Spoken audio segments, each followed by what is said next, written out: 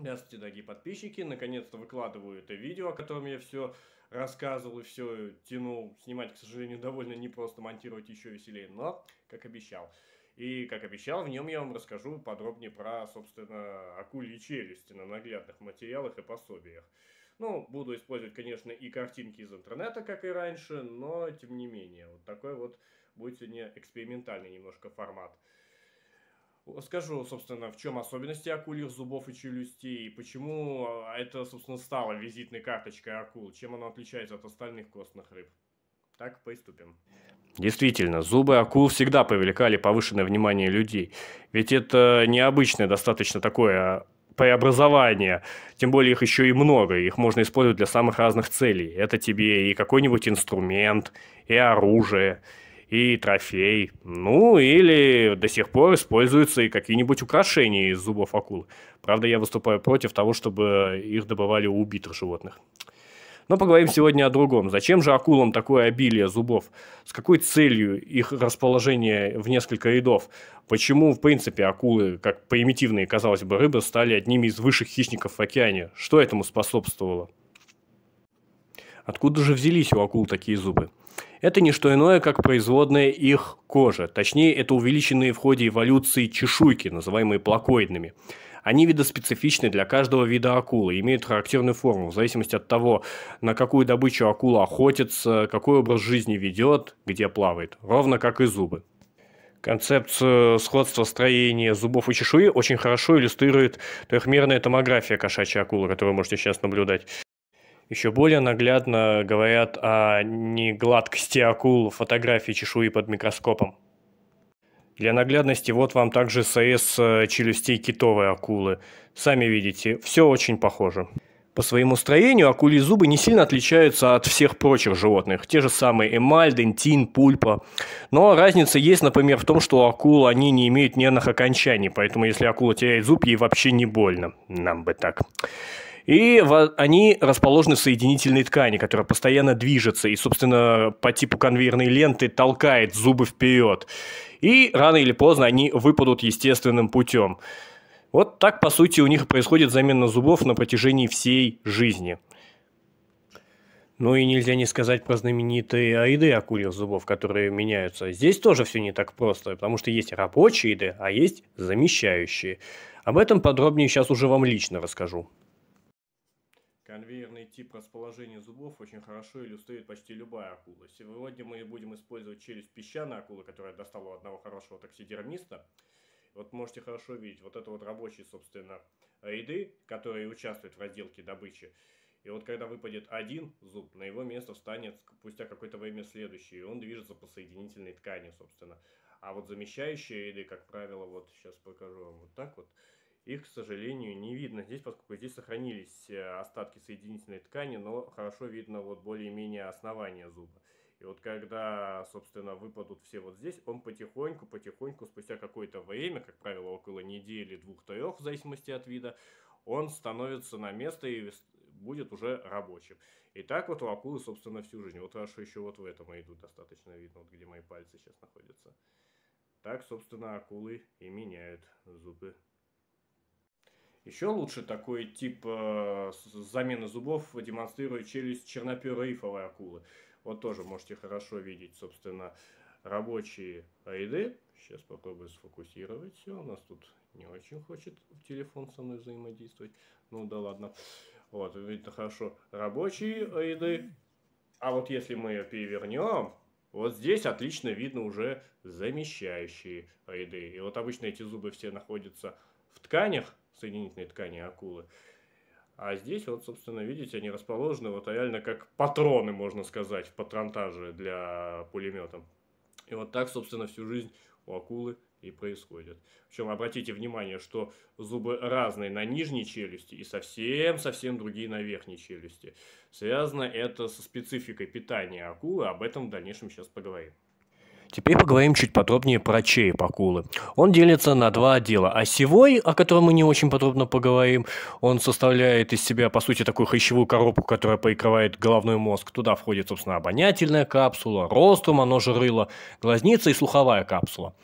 И вторая часть черепа – это висцеральный. Он представлен всей подвижных хрящевых дуг. Вот именно он и образует челюсть, о которых мы сегодня поговорим подробнее.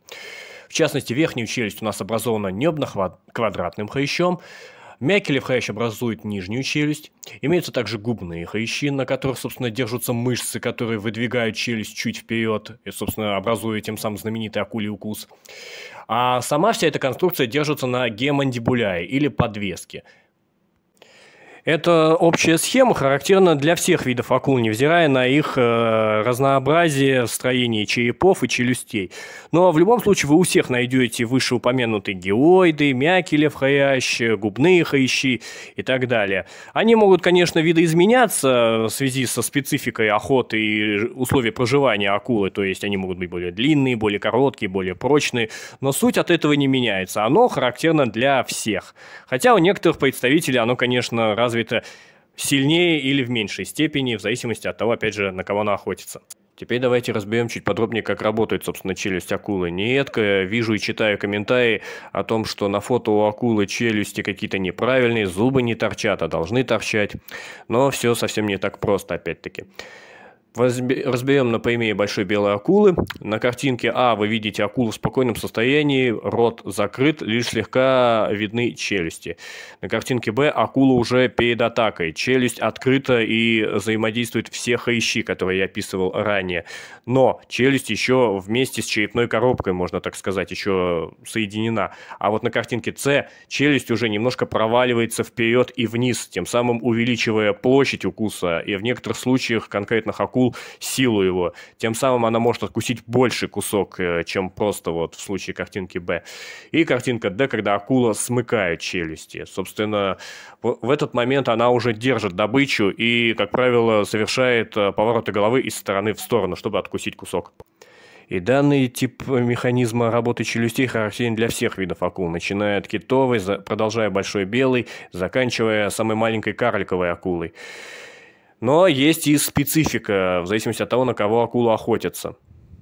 Для наглядности посмотрим настроение челюстей двух разных видов акул, а именно рыбы-молот и кошачьи акулы. У рыбы молот челюсти довольно классические для большинства акул, а именно она выдвигается чуть вперед и вниз, мощно развитые хрящи и мышцы, опускающие верхнюю челюсть, послабее, опускающие нижнюю челюсть. Совсем иная картина у кошачьей акулы. Челюсть направлена сразу вниз, мощно развитые губные хрящи, мощно развитые хрящи и мышцы, опускающие нижнюю челюсть, и слабо развитые, опускающие верхнюю челюсть. Из-за этого создается специфичная анатомия мышц акулы, которая может при этом создавать вакуум при открывании рта, тем самым засасывая всасывая добычу целиком и в дальнейшем дробя ее многочисленными мелкими зубами, разрушая твердый покров и панцирь, скажем, какого-нибудь креветки, краба, двустворчатого моллюска, головоногого моллюска. Такая вот специфика у них – при этом кошачья акула компенсирует э, размер количеством зубов. Для маленькой акулы достаточно серьезно при ближайшем рассмотрении через микроскоп. Если вы креветка, вас никакой панцирь не спасет. Да и головоногему моллюску не поздоровится. Хотя, казалось бы, вроде миленькое маленькое создание. Продемонстрирую наглядно на живом экземпляре. А сейчас я вам покажу челюсти кошачьей акулы. А то постоянно спрашивают, где у них зубы-то? Вроде их нету. А вот они нормальные полноценные челюсти. Несколько видов, все как положено. Маленькая, но все равно акула. Мой ребеночек, все, плыви, плыви, девочка. Поэтому э, процесс открывания челюсти захвата добычи у некоторых акул может выглядеть несколько гиперболизированно, если говорить по-занудному. Скажем, вот на примере песчаной акулы, какими являются наши Миша и Смаша, выглядит это вот примерно так. Довольно жутко, зловеще, от чего многие, собственно, и боятся этих акул, но при этом э, они на самом деле не так опасны, как принято считать. Хотя с их копьевидными зубами, конечно, если что-то у нее перед носом, она схватит, не задумываясь. А как насчет других других видов акул. Еще очень гиперболизированный процесс открывания и закрывания челюстей демонстрируют э, глубоководные виды акул. Например, это гадюковая акула, которая напоминает нечто среднее между чужим веномом и обычной акулой. Она сама по себе не опасна, длиной всего лишь 40 сантиметров, но знаете, если ее увеличить, хороший такой монстр для ужастика подойдет. Как говорится, в природе все давно придумано, а люди должны всего лишь воплотить в своих книгах. Но пальму лидерства, пожалуй, в гиперболизированности работы челюстей удерживает довольно знаменитая акула домовой или акула гоблин, кому как удобнее. Когда у нее челюсть в закрытом положении, она не сильно выделяется среди прочих рыб, как бы акула и акула, вроде даже немного на рыбу пилу похожа, такая невзрачная. А вот если она челюсть открывает-закрывает, это совсем другое дело. Это, конечно, наводит на всякие жуткие, ужасные мысли о, о тех же чужих. Кстати, нет, это все вранье, что именно с этой акулы списали из знаменитого чужого и принцип работы его челюсти. Хотя, конечно, выглядит э, неплохо. Ну и перейдем к самому интересному, чуть подробнее разберем зубы и строение зубных э, систем. Как и наши зубы, акули имеют э, коронку, шейку, боковые зубцы в некоторых случаях и даже корень, хотя и очень дистрофированы, то есть слабо развиты, поскольку у них нет связи с нервной системой, им нет необходимости в глубоком укоренении зубов. Теперь поговорим о том, как располагаются э, зубы в челюстях акулы. Есть такая вещь э, в челюстях, называется симфиз. Это место смыкания челюстей ровно по центру. Как правило, рядом с ней расположены все самые крупные зубы. Они называются симфизальные.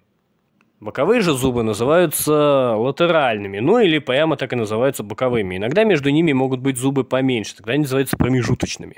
Ну и самые мелкие зубы находятся по окраинам э, челюстей, они называются постериальные.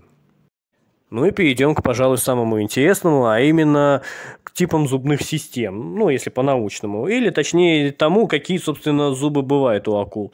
Зубная система рвущего типа, пожалуй, самая известная. Она характерна для большинства ломнообразных акул, вроде мака, сельдевых и вот песчаных, как наши Миша с Машей.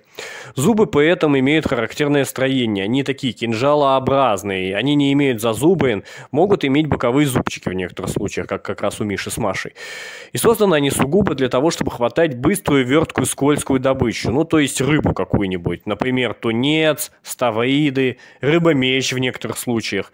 Задача их хоть как-нибудь дозацепить добычу, и, собственно, чем больше добыча вырывается, тем глубже она заседает в зубах, и акуле остается только схватить и, и собственно, проглотить кусок. Ну или как раз порвать э, в лоскуты плоть э, добычи и тем самым лишить ее возможности уплыть и двигаться.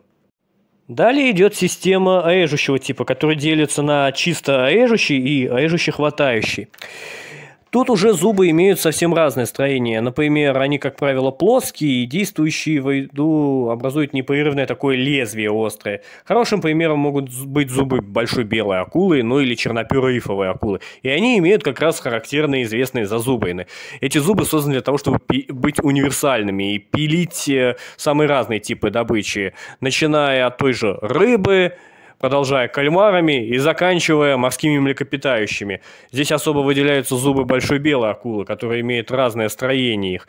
Например, нижние зубы большой белой акулы – это именно как крючья, они имеют зазубрины, но в меньшей степени, и они удерживают добычу, а верхние зубы, они более, скажем так, более плоские и больше созданы для того, чтобы проникать в добычу и резать ее на куски. Поэтому не будем забывать, что акула в этот момент еще вращает головой.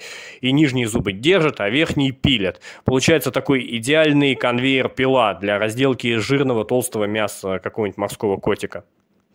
Впрочем, даже у акул с вроде бы единым типом э, зубной системы есть отличия. Возьмем не менее знаменитую тигровую акулу. Ее зубы, мягко говоря, отличаются от того, что я описывал ранее.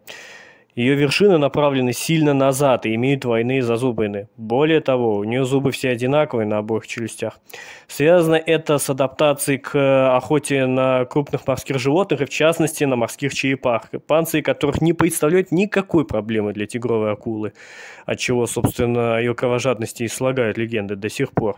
Я молчу, что будет с какими-нибудь обычными костями и мышцами при взаимодействии с такими зубами. Следующий подтип челюстей называется режуще-хватающим. Он характерен для большинства серых акул, а также глубоководных.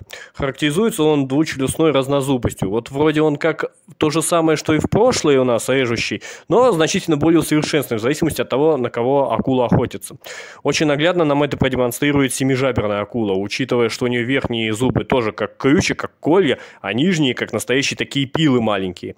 Связано это с тем, что эта акула живет на большой глубине, в основном питается падалью, например, погибшим китом. А эта субстанция такая, довольно тягучая, поэтому верхние зубы, собственно, держат добычу, нижние режут, и поэтому акула дополнительно вращается наподобие крокодила. Привет, Евген Крокрониклс. И тем самым отрывает кусок рассказ про данный подтип челюстей сказом о бразильской светящейся акуле. Это вроде миленькая маленькая акула, но на самом деле это то еще исчадие ада. У нее гиперболизированная нижняя челюсть и очень мелкие верхние зубы, с помощью которых она присасывается к живому животному, скажем, к дельфину, к более крупной акуле, к морскому котику, к киту, кому угодно. И начинает проворачиваться вокруг своей оси и выгрызать заживо кусок плоти. Очень часто рыбаки встречают рыб, пострадавших от таких э, акул. Поэтому сама по себе она не очень большая, сантиметров 35, но, тем не менее, зубы у нее настолько мощные, что даже более крупные акулы, вроде большой белой, не застрахованы от ее нападения. Рот, как говорится, размер имеет значение. Зубная система раздавливающего типа характерна не только для акул, но и для многих скатов, поскольку коронки образуют своего рода такую ребристую поверхность, которая подходит идеально для обработки панцирей ракообразных и двустворчатых моллюсков.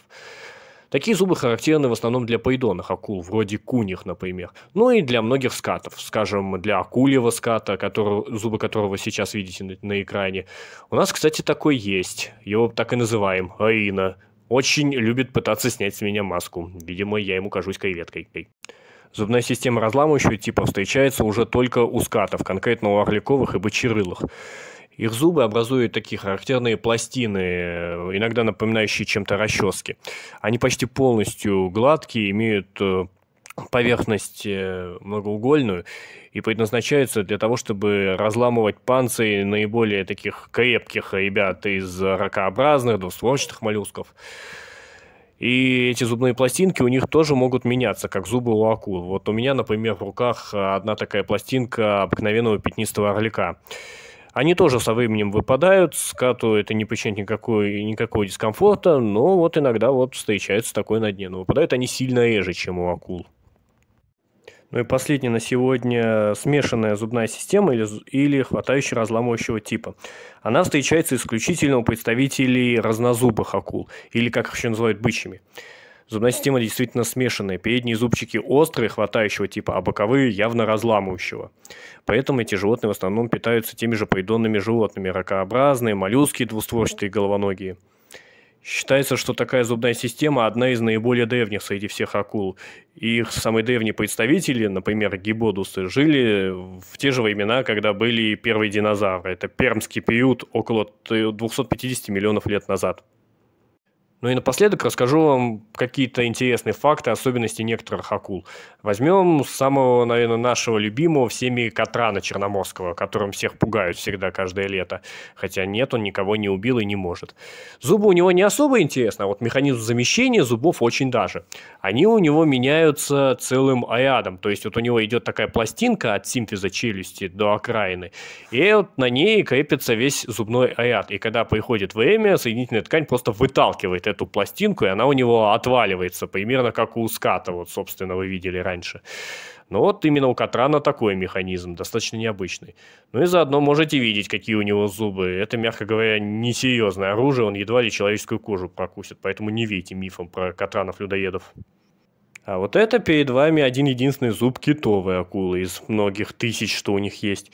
Я, к сожалению, не нашел информации, куда относят э, всех планктонов важных акулов, кто питается планктоном. Они же фильтраторы. Как-то вот нету, к сожалению, для них классификации отдельной.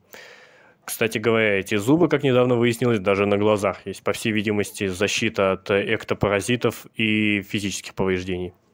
А вот такая зубная система, которую я тоже не нашел, к сожалению, куда отнести, а, принадлежит довольно редкой акуле. Называется она плащеносная. Это очень редкая рыба, плохо изучена. Она обитает на большой глубине, около 150-800 метров. В основном питается а, глубоководной рыбой ракообразными. И изучена крайне слабо. О ней очень мало информации, но известно, что она является эликтом. То есть она живет с древних времен до наших дней, как какая-нибудь латимея или гатея, например. Об акульих зубах можно, конечно, говорить бесконечно, но всему рано или поздно приходит конец, в том числе этому ролику долгострою. Ух, надеюсь, вам понравилось. Ребята, жду ваши лайки, комменты, предложения. До скорых новых встреч.